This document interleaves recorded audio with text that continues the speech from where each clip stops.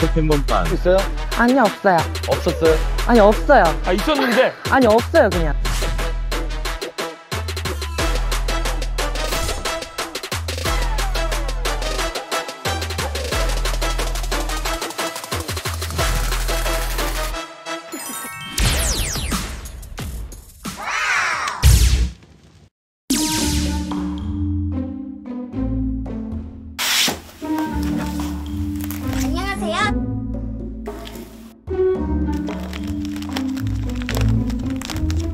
우리나라에 나온 실의 한 90% 이상은 제가 다 갖고 있을 거예요.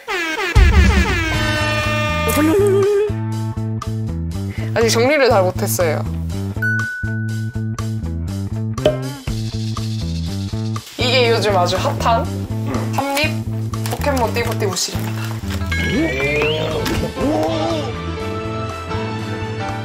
이게 좀 희귀해갖고 비싼 몸값을 자랑하고 있습니다. 이건 너무한 거 아니냐고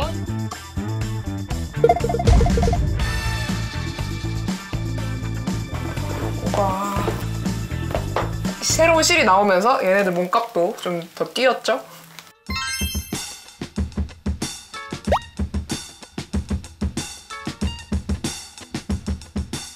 흑색 대구리, 회색.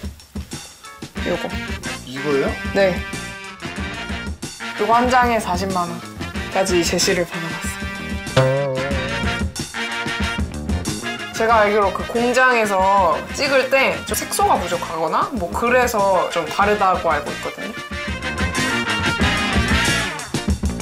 저 이런 오르시 되게 좋아해요. 아마 이런 거 저만 모으지 않을까 싶은데. 아, 혹시 이거 아시, 아시려나?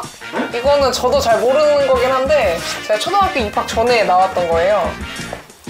국진 입방 찐빵. 스티커.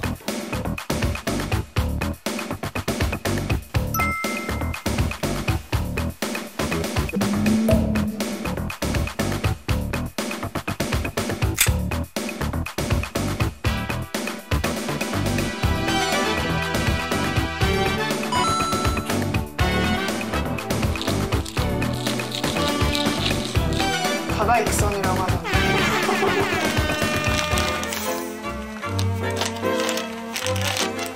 추억이죠. 2009년도에 포켓몬 스티커가 나오면서 사실 학업적인 스트레스도 있었고 딱 보면은 포켓몬 스티커네 하니까 옛날 생각이 그냥 났어요. 어? 99년도에 내가 뭐 친구들이랑 따먹게 하고 이게 진짜 유행이었는데? 라는 생각 때문에 이제 하나둘씩 모으게 된 것 같습니다.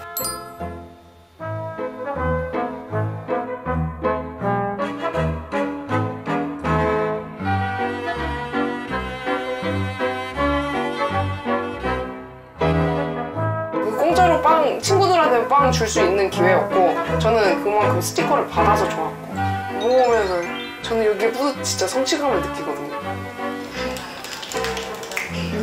근데 너무 맛있어요. 진짜 맛있어요.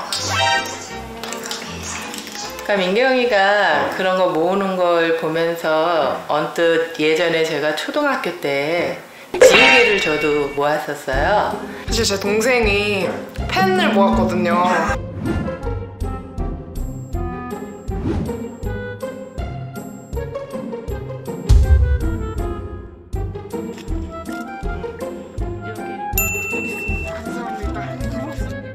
다른 사람에게 보여주고 이렇게 정보를 공유함으로써 하루하루가 정말 행복하거든요. 띠부실이란 제 삶의 원동력이죠.